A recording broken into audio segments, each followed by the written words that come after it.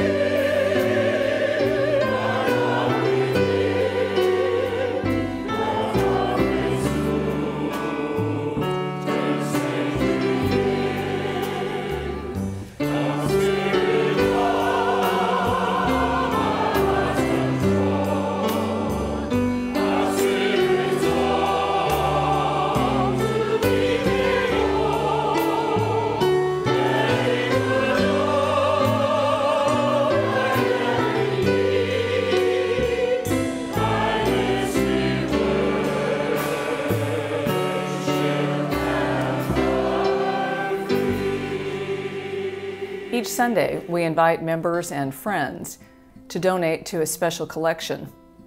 This week, we once again invite donations to support the Long Island Council of Churches Food Pantry. Now, maybe you haven't been able to give as much as you might like each week. Maybe you've given only once in recent weeks. But our contributions matter. Each and every one of them matters. And together they add up. To date, we have donated more than $6,000 in monies raised during our special collections during this time of social distancing. In the words of the Sufi Muslim poet Rumi, every tree, every flower, every growing thing as it grows says this truth You harvest what you sow. With life as short as a half taken breath, do not plant anything but love. Each week, the offering is an invitation to plant love in this world. Your donation helps to feed individuals and couples and families who would otherwise be hungry. Because of social distancing, we ask that you please contribute online. This is still new for many of us, but it is simple to plant love. And that feeling you get when you harvest what you've sown is priceless. Choose the method that's most convenient for you. If you choose to give through our website, please click on Donate on the homepage menu bar and then click Donate Now. Then scroll down and choose Special Collection. Thank you for your contributions. When I was little, I loved to visit my grandparents. I went to their house a lot until I was about 10 years old. That's when they moved to a big place with a lot of other old people and their helpers.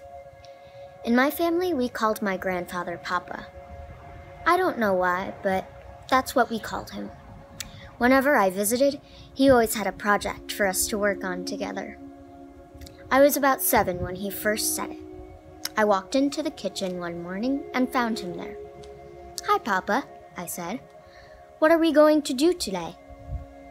Papa said, Hi, JJ. Today, today we are going to make meaning. Make what? I said. Last time we made a birdhouse. How could we use Papa's tools to make meaning? Papa said, You will see. We went out and got our bikes. Papa put on his backpack. He picked up a tall, skinny package and put it into his bike basket. What's that? I said. Papa said, You will see. We rode our bikes to a playground. Papa got something out of his backpack. It unfolded like a transformer. It was a shovel. Papa said, Now we dig. We took turns digging a hole. It wasn't wide, but it was as deep as my arm. Then Papa opened the tall package. It was a little tree. Wow, I said. We're planting a tree? Papa said, Yes, we're planting a tree. And we did. When the tree was planted, we stood back and looked at it. It looked good. But I had a question. Did we just make meaning? Papa said, Yes. We've planted a tree that will grow and be a home for birds and shade for people. It will live longer than you or me. When we plant a tree, we're part of something big, very big. We're part of a better future. I said, Is that meaning? Papa said, Yes. We just made your life and my life have more meaning. After that day, whenever I visited and the weather was nice, we planted a tree. It always started with me asking, Papa, what are we going to do today? And Papa saying, Today, JJ, we are making meaning. On the very last day my grandparents lived in that house, we planted a tree. We made meaning. Years later, when I was all grown up, I took my kids to look at it. It was very big. Birds sang. We had a picnic in its shade. We put our hands on the tree. Someone asked, Is this Papa's tree? I said, This is everyone's tree, but it's Papa's meaning. Even as we seem so far, far apart, always we're together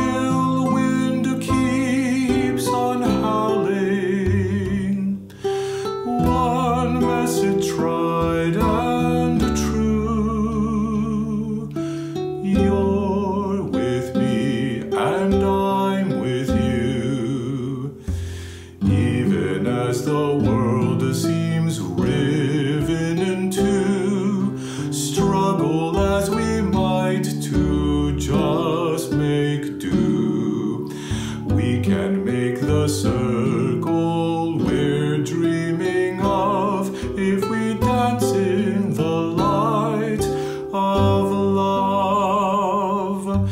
Dance in the light. You're with me and I'm with you. Let's dance.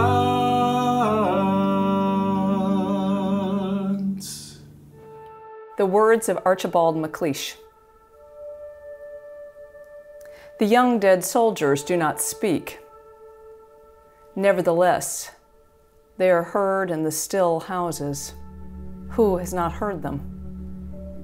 They have a silence that speaks for them at night and when the clocks count. They say, We were young. We have died. Remember us. They say we have done what we could, but until it is finished, it is not done. They say we have given our lives, but until it is finished, no one can know what our lives gave. They say, Our deaths are not ours, they are yours. They will mean what you make of them. They say whether our lives and our deaths were for peace and for new hope or for nothing, we cannot say. It is you who must say this. We leave you our deaths. Give them their meaning. We were young, they say. We have died. Remember us. Amazing grace, how sweet the sound that saved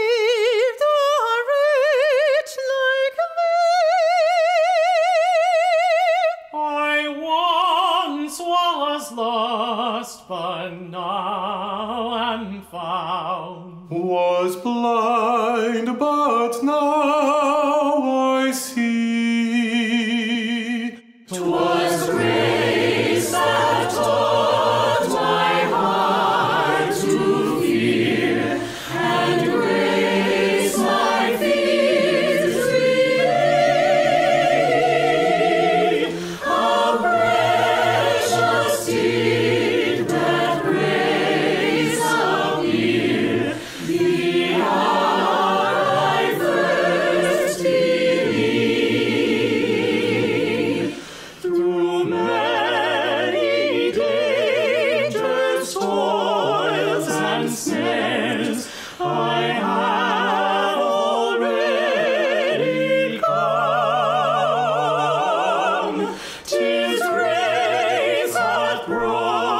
me sing.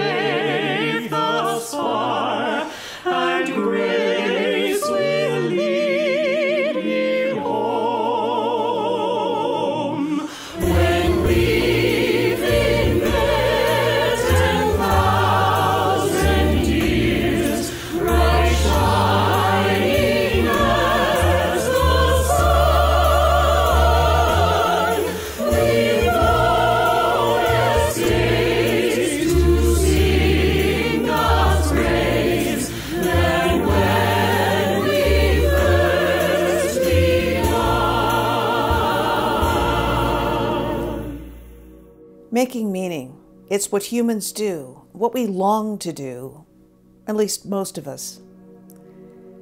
We yearn to create lives with meaning and purpose and significance beyond our own little moment. Some make meaning by planting a tree so that years later others may sit in its shade. Some make meaning by giving their lives to a cause, for a purpose. Some die for that cause. And we remember them. In 1981, Maya Lin was a 21 year old architecture student in her senior year at Yale University. Her class assignment was to design a memorial, and she chose to remember the U.S. service members who lost their lives in the Vietnam War. Maya Lin got a B on the assignment. But her unusual and creative design was chosen from more than 1,400 to become the Vietnam Veterans Memorial. It was chosen even over the design submitted by the Yale professor who gave her the B. Maya Lin's drawings showed a wall rising from the sunken walkway and bearing the names of 58,000 dead and missing in action. People decried this design. It was unconventional. It had no image of a valiant warrior. It wasn't a larger than life statue on a pedestal. It was too simple, they said. It was not respectful. One sunny spring day, after the Vietnam Veterans Memorial opened, I went down to the National Mall to see it for myself. I walked over to the grove of trees that sheltered the entrance to the memorial, which lay alongside the reflecting pool. I will never, never forget that walk. The path slanted gently downward, inviting entry. As I descended, the wall rose above me, each step taking me deeper and deeper into the Hall of the Dead. Here and there, people had placed flowers or ribbons at the base of the wall beneath the names. The names. The names. The names did not speak, but they had a silence that spoke for them in the stillness. It was quiet. Gone were the noises that filled the air at ground level the rush of traffic, the blare of automobile horns, the uplifted, pedantic voices of tour guides, the gleeful cries of children playing at the edge of the reflecting pool, and the occasional bark of dogs and parents. These sounds were no more. There was only the silence of the names, one after another, lined in precise rows along the wall. We were young. We have died. Remember us. Near the midpoint of the walkway, in the deepest part of the memorial, I saw a man huddled at the base of the wall. He held a medal in his hand. It dangled from a brightly colored ribbon. He knelt at the base of the wall with his forehead touching the wall, and one hand reached up to touch a single name. He was too young to be a father, but I couldn't tell if he was son, brother, comrade. I could tell that his heart ached with loss and regret.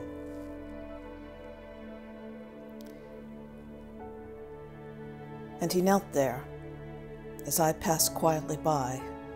He knelt there in the echoing silence of the names of the dead. We leave you our deaths. Give them their meaning. In this community today, there are many stories of loss. Some of us know some of those stories. But no one can know all the stories, all the losses that other human beings have suffered. Whether those losses are connected to war, whether they are losses connected to other suffering, each one of us has known loss. With the emergence of a global pandemic, there is more loss, more suffering. Sometimes we try not to think about it. But inevitably we do. And we wonder, why? Why must we suffer? If we were to list our losses like names on a wall, what would they mean? I'm sure of only one thing. The meaning is what we make afterwards. No loss comes inscribed with previously assigned meaning. Each loss is a name on a wall, etched in our consciousness, palpable, unforgettable. If our losses are to have any meaning at all, that meaning comes from what we do after we move out of the depths and into the sunlight. It's pointless to shackle ourselves to the place of deepest despair. The meaning of the loss doesn't come from the loss. The loss doesn't express its own meaning. The meaning comes from ourselves. We are the ones who take and shape a loss. We are the meaning makers. History, without its wrenching pain, cannot be unlived, but if faced with courage, need not be lived again. It is our greatest, most difficult task to rise from the wailing wall and move into the future with a broken heart and yet with a determination to make meaning. We remember the losses, the pain, the sacrifice. How will we give them meaning? Because we are here now and we shape the future. That day long ago at the Vietnam Veterans Memorial, something in me broke. And from the broken places, something new emerged. Ground is broken for graves, for gardens. In memory, we hear the chunk scrape of the shovel. I walked deep into the Vietnam Veterans Memorial on a sunny spring day. The base of the memorial was dark with loss and the names of the young dead soldiers. I walked on. And when I emerged, a resolve had sprouted from my soul's broken earth. I watered it with my tears. Abraham Lincoln, at his second inauguration, faced the aftermath of a terrible war. He described for all American citizens the task ahead